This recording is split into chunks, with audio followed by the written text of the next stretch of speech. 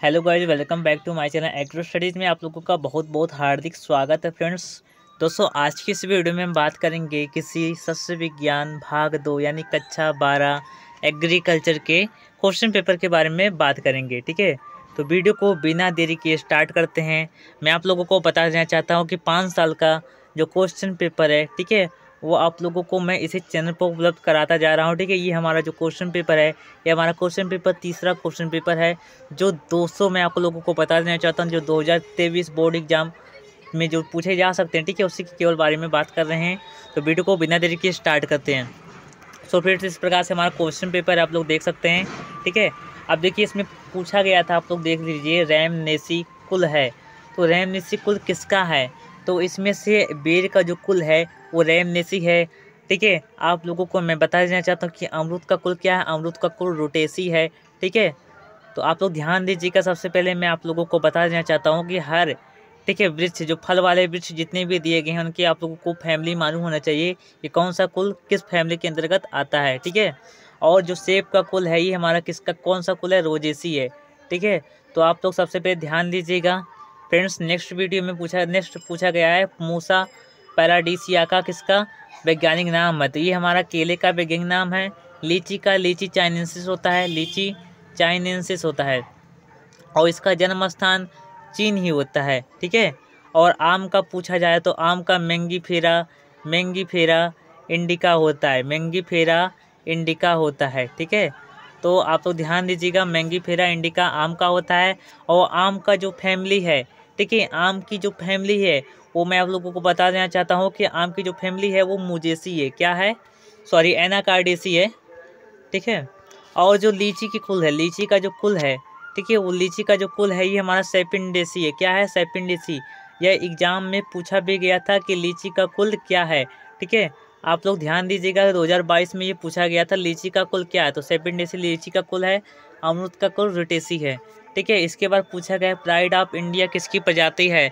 तो pride of India जो हमारी प्रजाति, वो हमारी पत्ता गोभी की प्रजाति है प्राइड ऑफ़ इंडिया इसमें पूछा गया है कि टमाटर की उत्पत्ति स्थान कहाँ है? तो टमाटर का उत्पत्ति स्थान हमारा मैक्सिको है। क्या है? मैक्सिको है। ठीक है, ध्यान दीजिएगा आप लोग। और जो बैगन का कुल होता है, वो भारत है। क्या? बैगन का कुल भारत है। ठीक है फ्रेंड्स ध्यान दीजिएगा आप लोग। ठीक है, इस प्रकार से नेक्स्ट पूछा गया हमारा केंद्रीय उद्यान की उप संस्थान कहाँ पर स्थित है? तो ये हमारा उत्तर प्रदेश में स्थित है। मैं आप लोगों को बता देना चाहता हूँ कि केंद्रीय उद्यान की उप संस्थान ठीक है? हमारा सेंट्रल हॉर्टिकल्चर, ठीक है? Research institute C H R I से बोलते हैं, ठीक है? ध्यान दीजिएगा। इसके बाद पूछा गया आलू को एक शीघ्र तैयार होने वाली प्रजाति का नाम पूछिए। बताइए। मैं आप लोगों को बता दें सिलेबस में आलू नहीं दिया गया, लेकिन फिर भी ये पूछता है सवाल। तो आलू के बारे में आप लोग ध्यान दीजिएगा। ठीक है कैजुअली में आप लोग याद करते रहिएगा, ठीक है? और आलू की जो शीघ्र पकने वाली जो शीघ्र तैयार करने वाली जो प्रजाति है, उसका नाम है कुपरी चंद्रमुखी। ठीक है? फ्रेंड्स, इसके बाद पूछा गया है अमृत का कुल क्या है?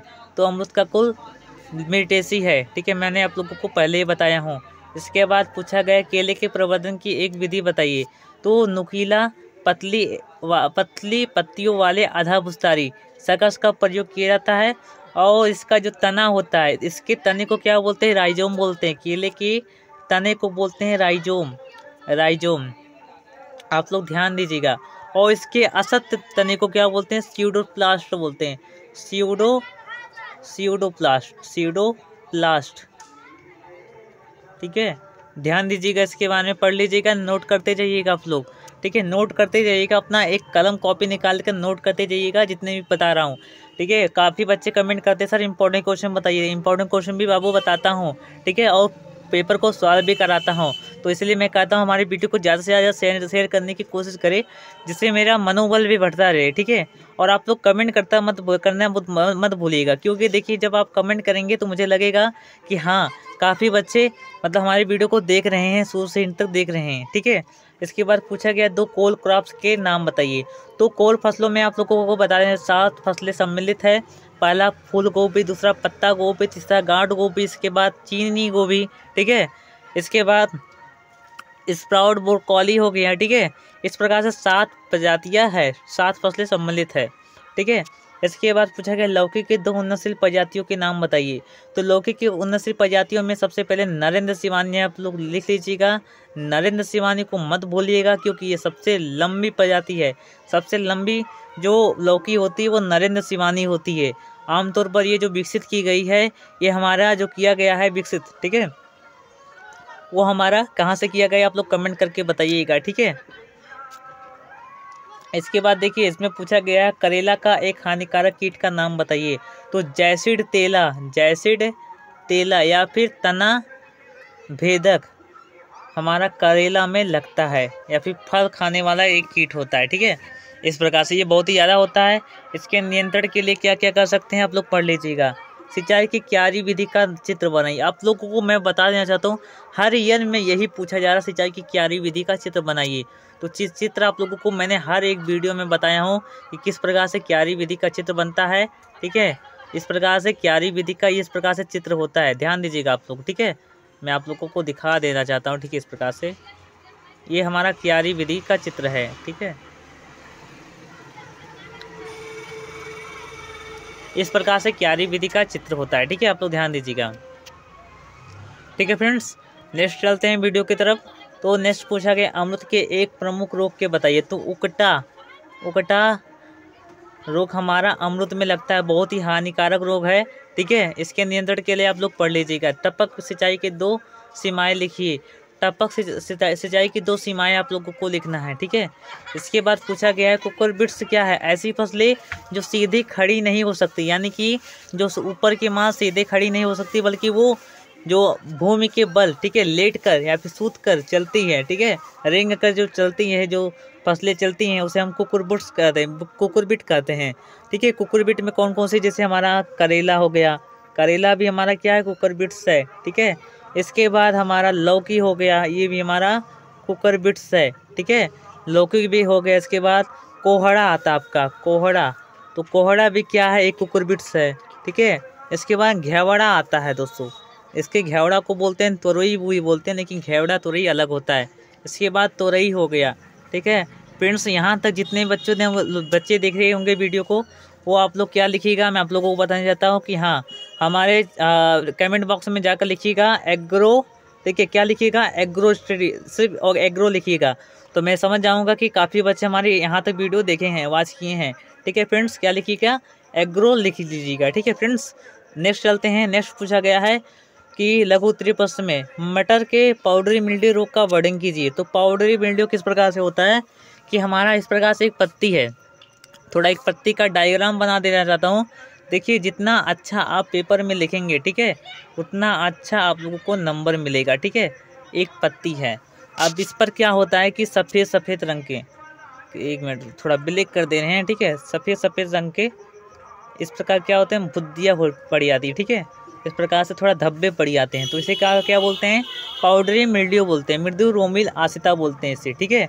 इसके उपाय के लिए हम क्या करते हैं कि इसके उपचार के लिए हम करते हैं, हमें एंडोफिल एम पैंतालीस का प्रयोग करते हैं और इसकी मात्रा आप लोग पढ़ लीजिएगा, किस प्रकार से प्रयोग करते हैं, ठीक है? फ्रेंड्स, नेक्स्ट नेक्स्ट देखते हैं आप हमारा क्या पूछा गया है कि ऊपरी दृष्टि क्या है? ऊपरी दृष्टि अब देखिए ऊपरी दृष्टि से, अब देखिए, सबसे पहले ध्यान दीजिएगा कि जो हमारे वायुमंडल है, ठीक है? वायुमंडल में से जो हमारे जो जलवाष्प होते हैं, वो क्या करते हैं कि संघनित होकर, ठीक है? जल कड़ों के रूप में या फिर ओले के रूप में, जल कड़ों में गिरेंगे तो उसे क्या करेंगे? वैसा कहेंगे हम। लेकिन जब वही हमारा ओले या फिर यानी बर्फ़ के गोले के रूप में गिरेंगे तो उसे हम ऊपर वृष्टि कहेंगे, ठीक है फ्रेंड्स? इसके बाद पूछा गया है, टपक सिंचाई क्या है? टपक सिंचाई आप लोगों को मैं पहले ही बता दूँगा टपक सिंचाई क्या है, जिसमें हम बूंद बूंद करके हम पौधों की जड़ों में देते हैं, ठीक है? पौधों की जड़ों में देते हैं। तो इसे टपक की सिंचाई कहते हैं। टपक सिंचाई की शुरुआत हमारा इजराइल में हुआ था। कहाँ पर हुआ था? इजराइल में हुआ था, ठीक है? फ्रेंड्स, इसके बाद देखिए सवाल पूछा गया हमारा दोस्तों कि विस्तृत उत्तरी प्रश्न ठीक है? इसमें पूछा गया है, मृदा विकार क्या है? अब भैया, मृदा विकार से अब तात्पर्य यहाँ, यही हमारा कि मृदा किसी कारणवश दूषित हो जा रही है और फ़सल उत्पादन नहीं कर पा रही है तो उसे क्या करेंगे? मृदा विकार कहेंगे। जैसे हमारा अम्ली हो जा रही है मृदा, या पिछारी हो जा रही है तो इसे हम क्या बोलेंगे? तो इसे हम क्या बोलेंगे? मृदा विकार बोलेंगे, ठीक है? तो इसी प्रकार से कह सकते हैं कि मृदा में कोई भी वांछनीय परिवर्तन जिसके फलस्वरूप हमारी जो फ़सल होती है, वो वृद्धि नहीं कर पाती या फिर फ़सल उत्पादन नहीं हो पाता तो उसे मृदा विकार कहते हैं। इसके बाद पूछा गया उत्तर प्रदेश में गेंदे की खेती का सविस्तार वर्णन कीजिए। गेंदा हट गया है, इसके स्थान पर गुलाब आ सकता है। आप लोगों को मैं पहले ही बता चुका हूँ, ठीक है? इसके बाद पूछा दिया गया हमारा आलू एवं प्याज की खेती का वर्णन कीजिए। तो इसके बारे में आप लोग अच्छे से स्टडी कर लीजिएगा।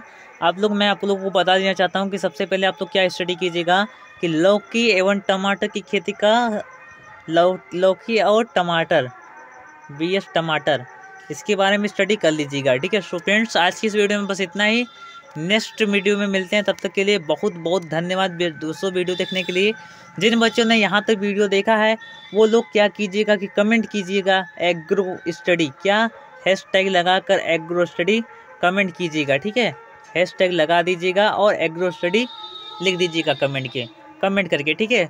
इससे मुझे पता चलेगा कि काफ़ी अच्छे मेरी वीडियो को शुरू से इन तक देख रहे हैं, ठीक है? क्योंकि परीक्षा भी है। तो फ्रेंड्स बहुत बहुत धन्यवाद वीडियो देखने के लिए। नेक्स्ट वीडियो मिलते हैं। तब तक बहुत बहुत धन्यवाद। जय हिंद, जय भारत।